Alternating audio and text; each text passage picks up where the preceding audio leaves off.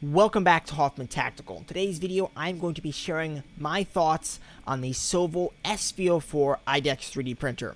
This little guy right there.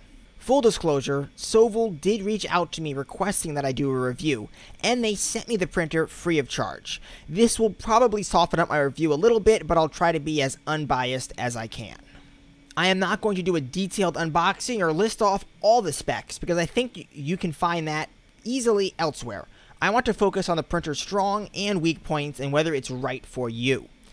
The printer did come well packed and it was very easy to assemble. It requires about 30 inches by 30 inches of desk space, so you'll want to have enough room set aside to fit this machine.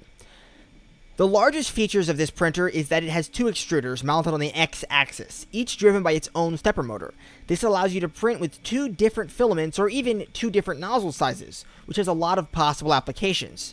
The, this type of printer is called an IDEX, or Independent Dual Extruder Printer.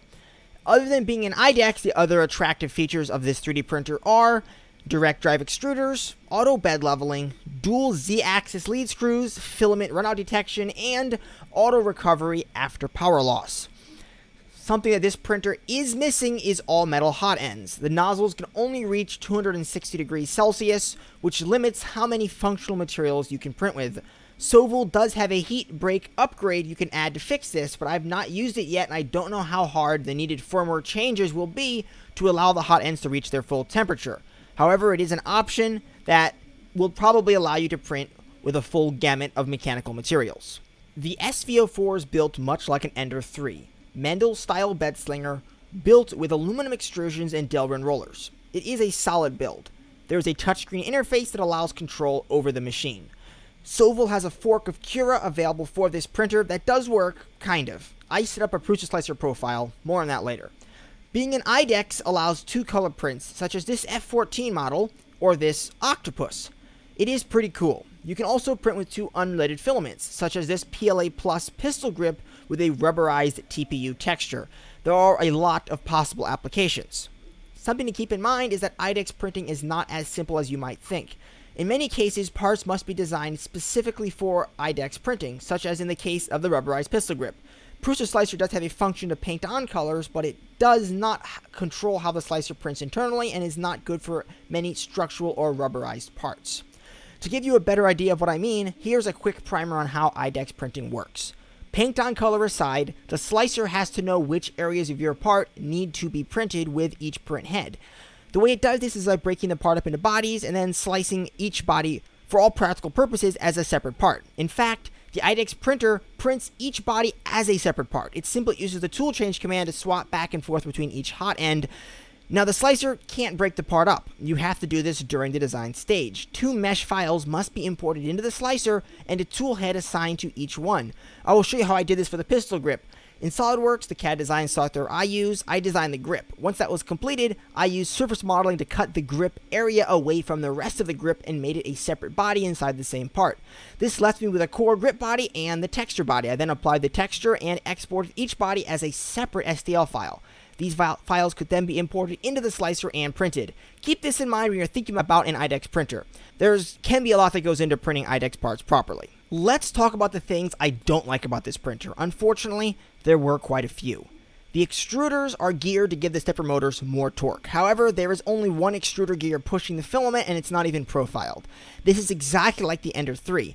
During my testing of the printer, I never had the stepper motor slip. The extruder gear would always start slipping and grinding on the filament first.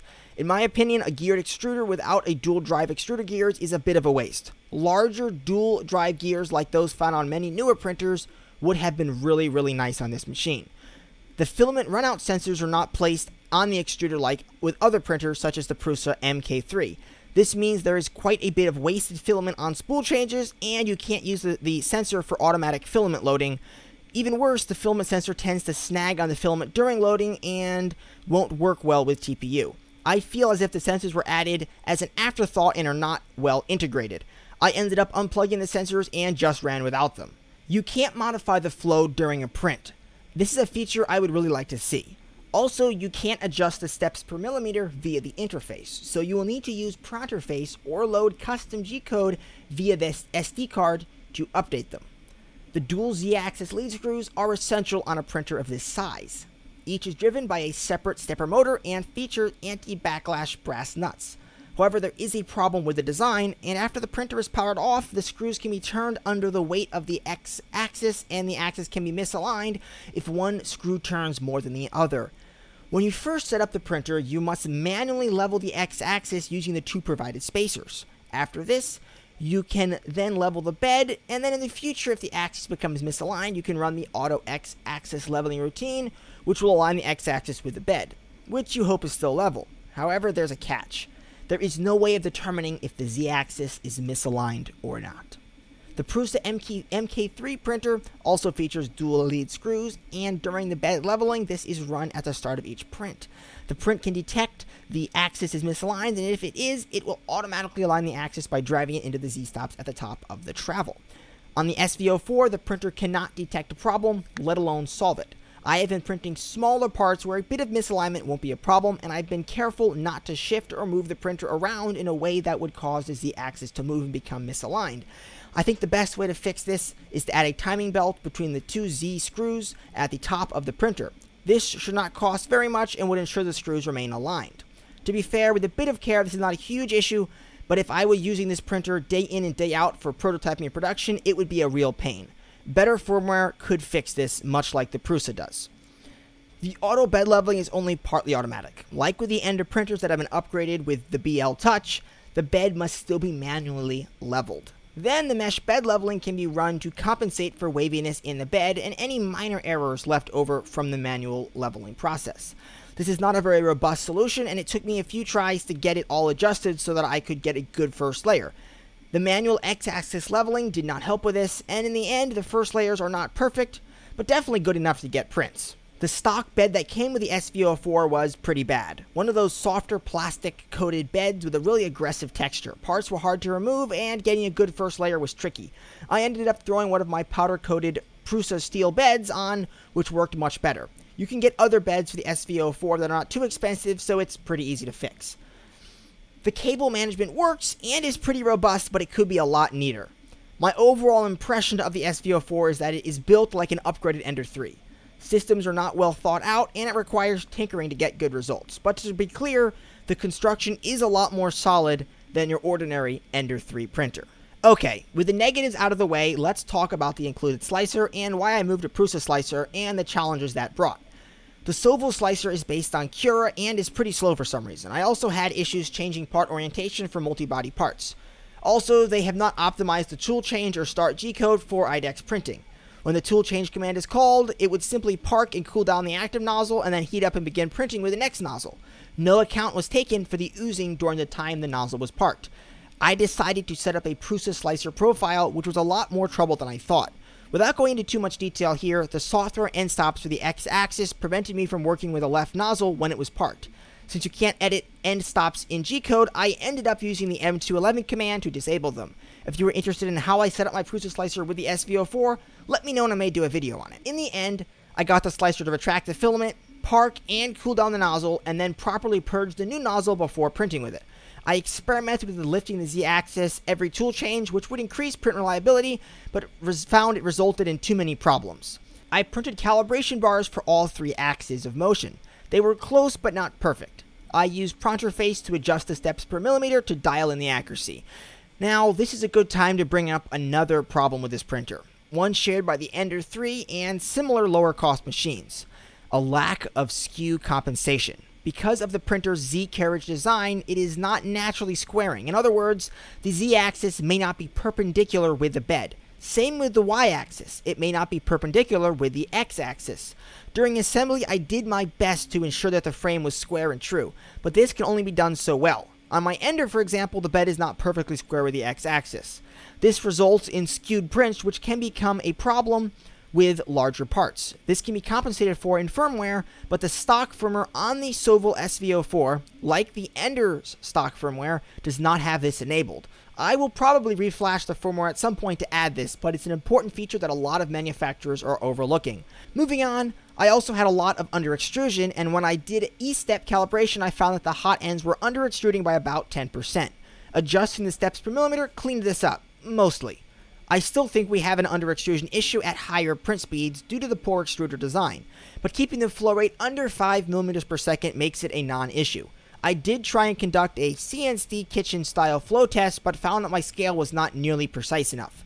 So that will have to wait until I get a better scale. The one other calibration print I did was the extruder offset calibration. Sovol includes some files that can be used for this, but I found them hard to use. I ended up designing this simple print that can be measured with calipers to find out exactly how much the offset needs to be adjusted so that both nozzles on both hot ends are printing on the same coordinate plane so that they can actually print parts together and have all the seams line up properly. Once all of this was done, I actually got a really nice 3D Benchy print on in single extruder mode. I have also been using the SV04 in copy mode to print the little TPU hose clamp covers I ship in my kits. It actually does a really nice job of this. Both nozzles move in unison to print two parts at once, which is cool, but of course not the main attraction of using an IDEX printer, as you would be better off with two separate single extruder printers. It also has a mirror mode, but I don't see the utility of this.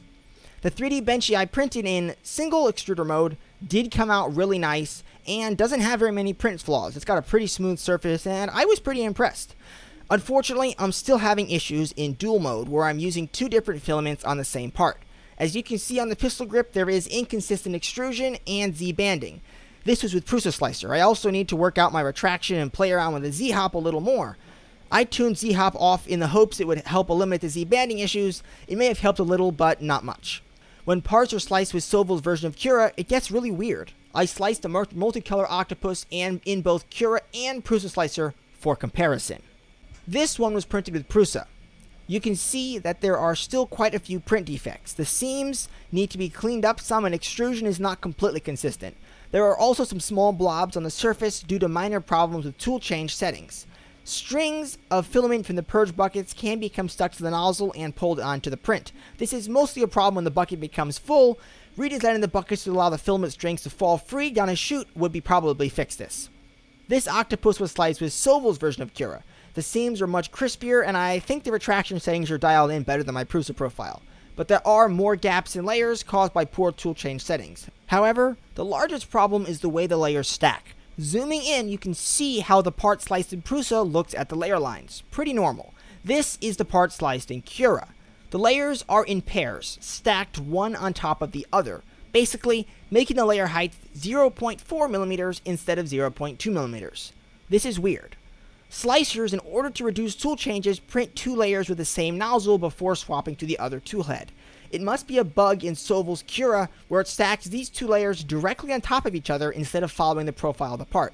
I don't know if this is a Cura problem or specific to Sovol's version. Either way, I do not recommend using the included Sovol slicer for dual mode printing. There were a few things about the printer I really liked. The stepper drivers are really quiet. So quiet that I can't tell when the printer starts from across the room. Much better than my Prusa MK3 printers. The fans are a bit louder, but not too bad. I was just super impressed by actually how quiet those stepper motors were. While the Y-axis is an Ender 3 style, it does run in a wider 40mm extrusion with 6 Delrin rollers. This results in a nice sturdy bed, much better than on an Ender 3. The touchscreen interface does work quite well, it is responsive and has not lagged or hung up during use. G-code is loaded via standard SD card, which I like better than the micro SD card used by other printers. Power loss recovery did work. I was able to test it a couple times inadvertently. Once it recovered perfectly, and the next time it did not because the Z-axis had dropped some. But Power Panic is never that good in, on any machine.